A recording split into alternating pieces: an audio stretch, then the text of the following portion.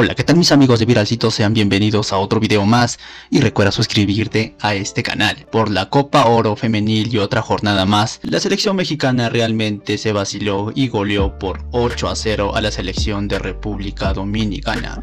Con este resultado, México queda en el primer lugar de la tabla y esperando a sus próximos rivales, ya que con este resultado México es claro candidato para clasificar a la final de la Copa Oro. El día de hoy vamos a traer el antes y el después como la prensa de República Dominicana estaba confiada de ganar a México debido al empate que se dio ante la Argentina. Sin más preámbulos, escuchemos los tres doritos y déjame saber tus impresiones en la caja de comentarios. La selección mexicana de fútbol continúa con su participación en la Copa Oro Femenil 2024 este viernes 23 de febrero. Tras haber arrancado la competencia enfrentando a Argentina, con quien se negoció el empate a ceros, México se enfrentará a República Dominicana en la Casa del Galaxy de la MLS en su segundo compromiso dentro del Grupo A de la Copa. Recordemos eh, que eh, México no pudo hacerle ni cosquillas a la selección argentina. Eh, Así que me, atrevería a decir que este México ha perdido la confianza y con un poco de suerte sé que nuestras guerreras podrían alzarse con un triunfo sobre las aztecas, al menos tres, goles a cero. Esto lo digo por lo, eh, lo que ha, demostrado las mexicanas. Así que con un poco de suerte podríamos golear y quedarnos con el segundo boleto.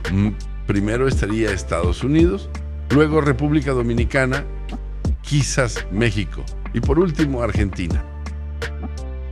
Dios mío, que le hemos hecho eh, a las mexicanas para que nos humillen a nosotros, a los boricuas. Más de seis goles en esta Copa de Oro. Con esto nos están sepultando, nos bailan, nos golean. Y esto podría ser peor. Que dice, puso menos punto cinco. Me parece que ya en el tema de las apuestas, los que le pusieron menos de 5.5, bueno, Todavía falta el segundo tiempo, así que tranquilos, tranquilos. Pagaba 26, Dominicaba pagaba 26 dólares.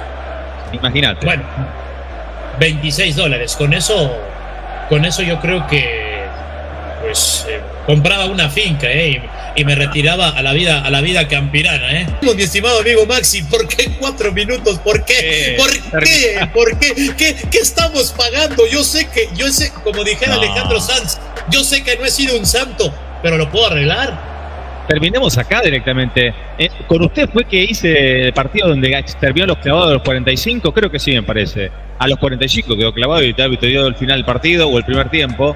Y acá no hay necesario. Cuatro minutos más para qué? Para continuar la humillación. Pobre chica dominicana. ¿eh? No, no, no, honestamente no. Hay que, hay que tener respeto y sentido común. Pero ya lo decía Voltaire, el sentido común es el menos común de los sentidos. Mientras tanto, Extra Norman, que dice que dice, dice,